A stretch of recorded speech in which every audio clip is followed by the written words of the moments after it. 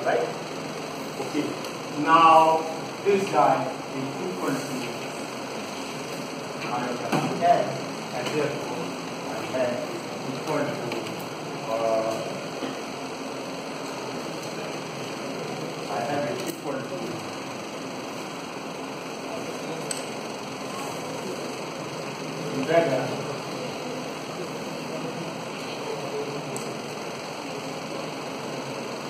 u and what it is for equal to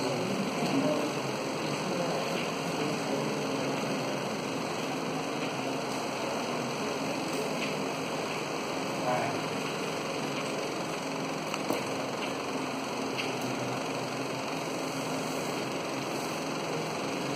this and this is equal to uh,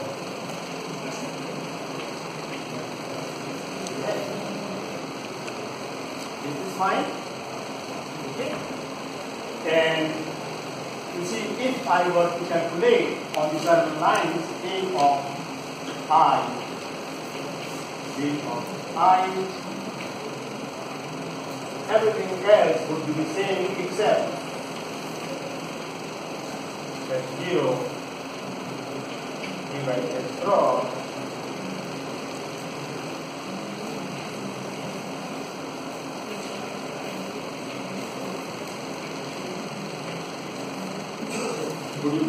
it?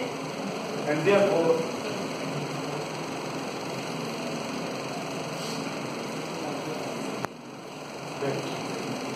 uh,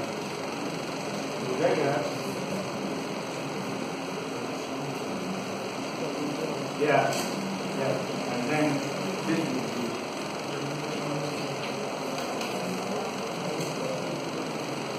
it? Just replace h by h naught. Just replace h.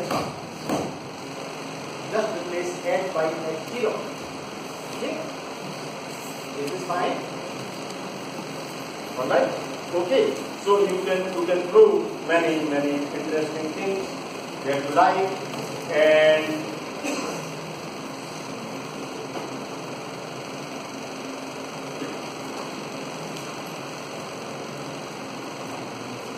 Uh, now, let me, uh, if you like, I could create a space on the left hand side and then I could tell you some more interesting things. So,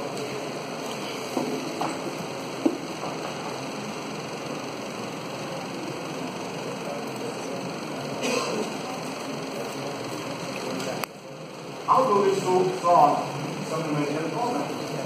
Okay. Now let me let me give you me try to let me try you. Please do not draw. Please do not draw. That that really annoys me. I mean, unless you decide on purpose to, to offend me or annoy me, then you can keep continuing. Okay, you can continue to if you like. That really annoys me. Okay. You should respect the, the peace of mind of your teacher, otherwise can you learn? If I am not in a peaceful mind, not in a happy mood, I, I can't teach you properly. You keep talking, then you disturb, you disturb everybody else. Okay? You want to talk to people, most of you do it. Look very uncivilized. Now, supposing Supposing I have a problem given by x equal to b square by 2n. What is this problem? This is a free particle. If you like, you can also add terms to this plus 1 half the x square or plus 1 half and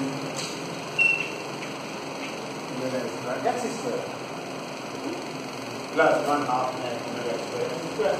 Then this would be the harmonic. Okay? If you like, so here philosophic, if you want to have x here, then this tries to have px. Or you can assume that okay, it's a one dimensional system, but you can have three dimensional system, one dimensional. Uh, so what I am really discussing is a class of problems. I can add some more terms here, x cube term, and whole term or sine of x or cosine of x, and this is what happens. So if you if you understand it here, I teach you the methodology, how to do it.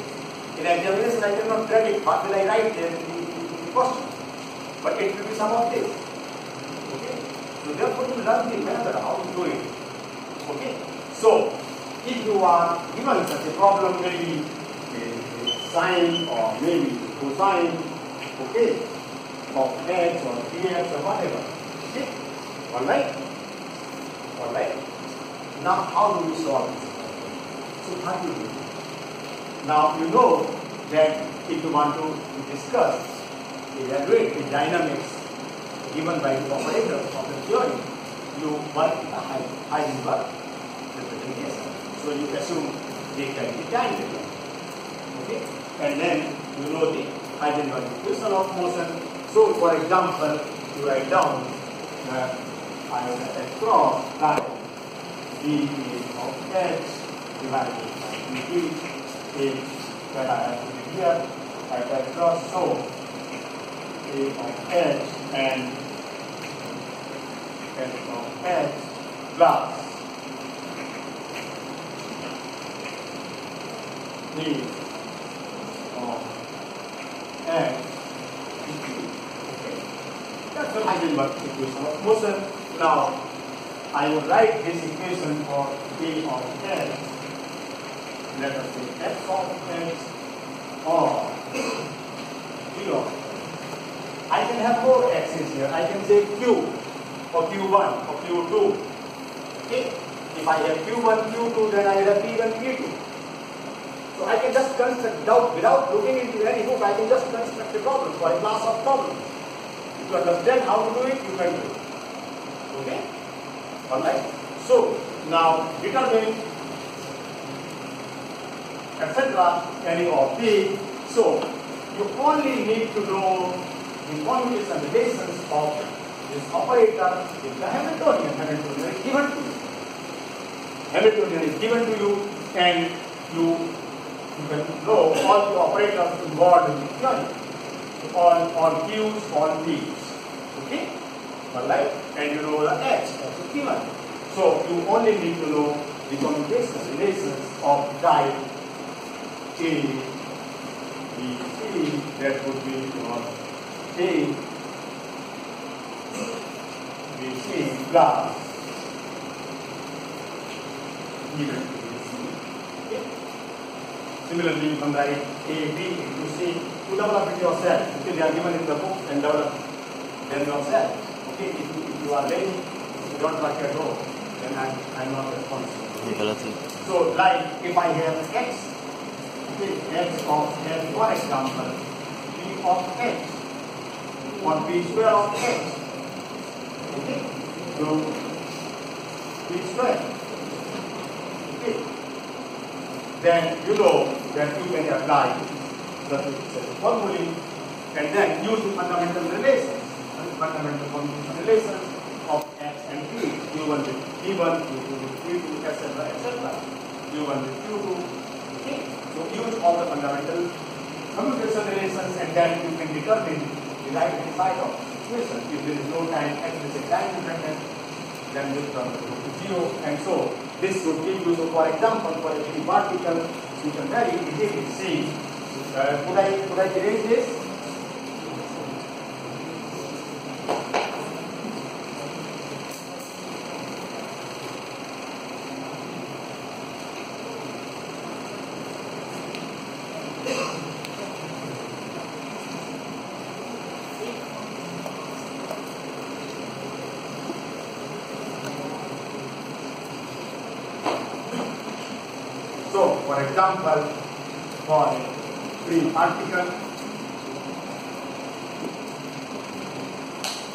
Free particle, you can easily define dx by dt to be equal to d of h by n. Okay. And uh,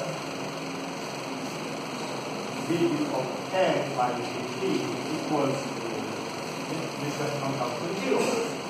You can, you can just see, imagine in your mind, here, uh, Here P versus P square. BAC. Yes.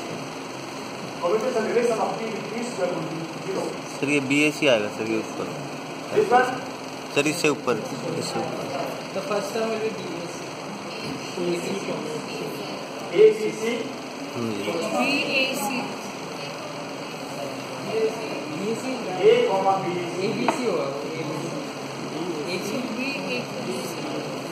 A is okay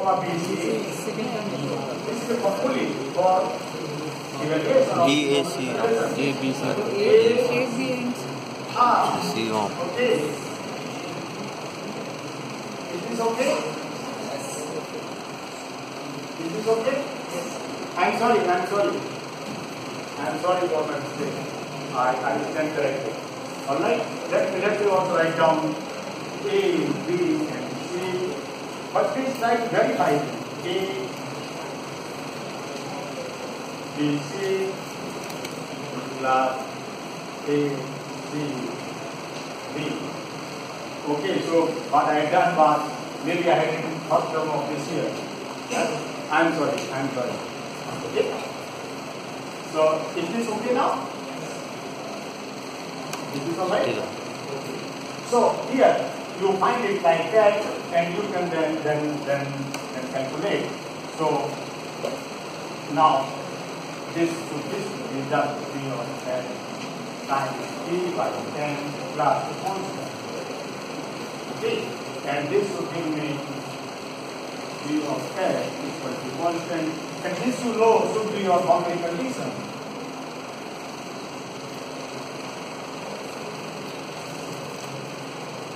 Is your boundary condition, and here you can put the boundary condition for t equal to 0 at t equal to 0, it will give you an x of 0 will give you the first one goes away, this gives you x of 0, which will be? So, we are initial conditions or boundary conditions that I explained to you yesterday. Okay? Alright? So these constants are always determined in terms of the, the boundary condition which is axis and p at time t equal to 0 because at time t equal to 0 they are given by corresponding Schrodinger operator which remain frozen and fixed for times for all times. Okay? Okay, good. So uh, and then you can, you can put your things back here. So your uh, and p of x is constant, so uh, so x of x is really comes out to be p of x zero. By n okay, and what else times p plus x And p of x is constant to p of 0. So you see what you can do in any given problem, you just listen to me very carefully.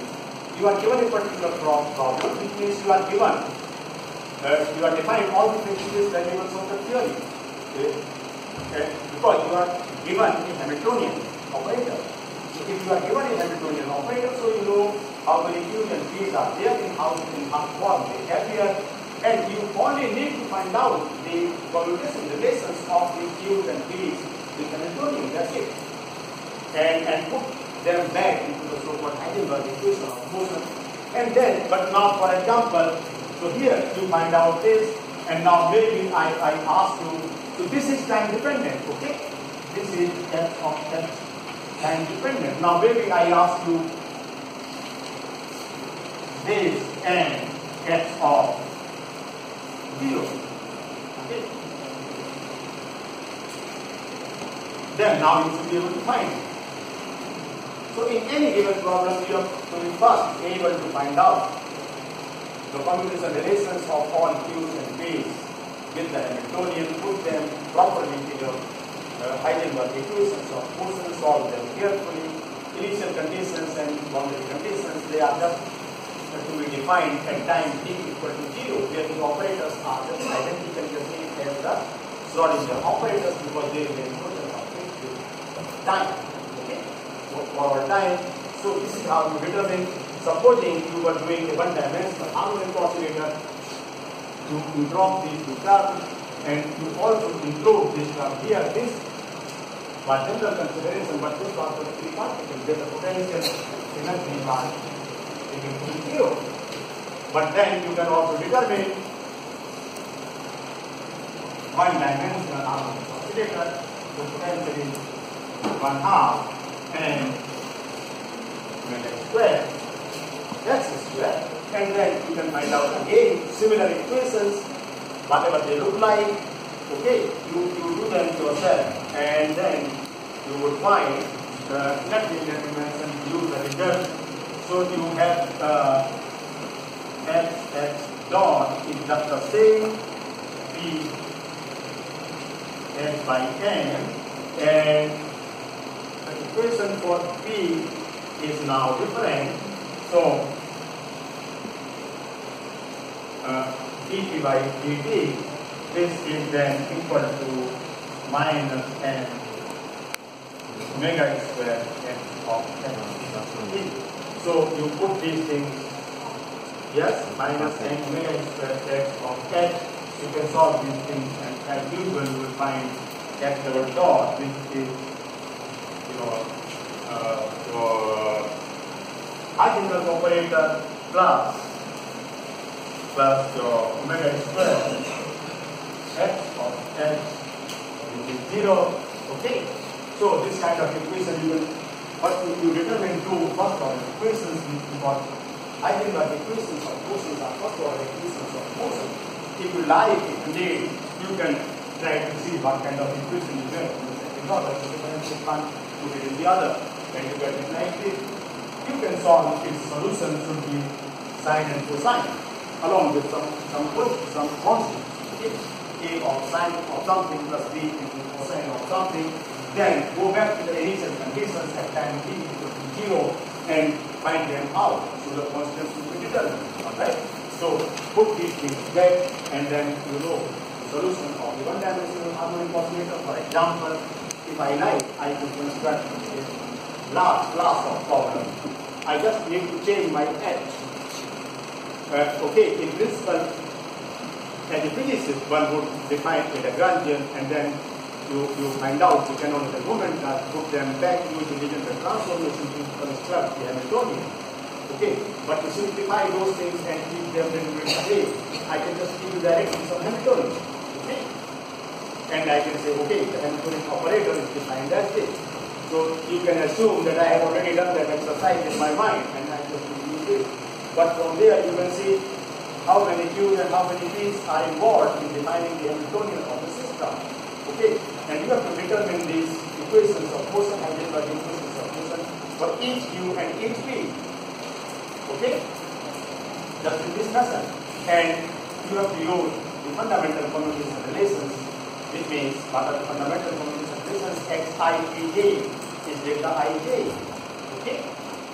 Qi is zero, Pi is zero. So these are the these are what the fundamental commutation relations. I have given the derivation of these commutation relations based on classical mechanics. Calculate the Poisson brackets of the theory and then replace them by the corresponding commutation relations to the Dirac quantization rules and then you know uh, what the relations are obeyed by the theory.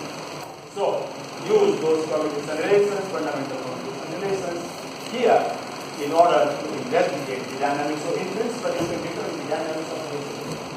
Okay.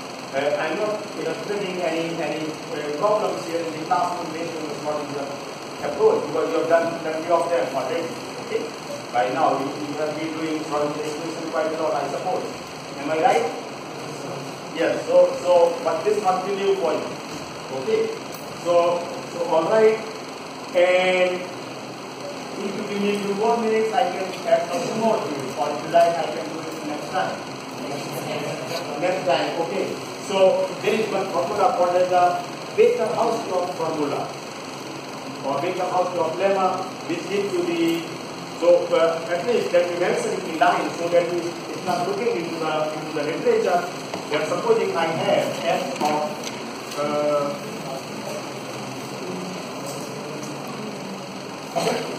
Okay,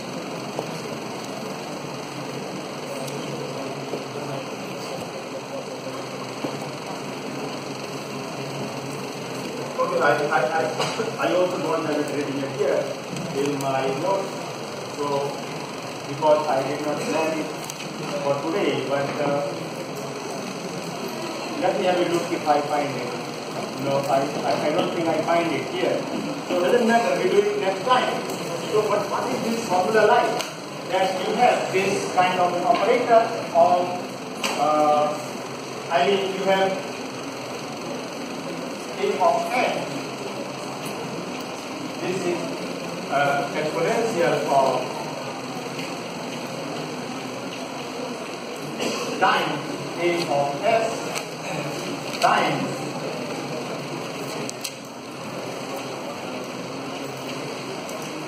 Okay, so that is your uh, that is your definition of the Heisenberg operator, and then you have a, formula which is called the Baker Armstrong formula. So you can write a series expansion of this.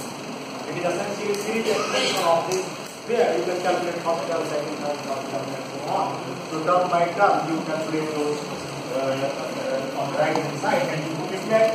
And you also can uh, calculate this using the using this uh, Heisenberg equation of force and the two results must tally. They must be consistent. Is that right? Okay, so then uh, let's stop for the day. Thank you all very, much for the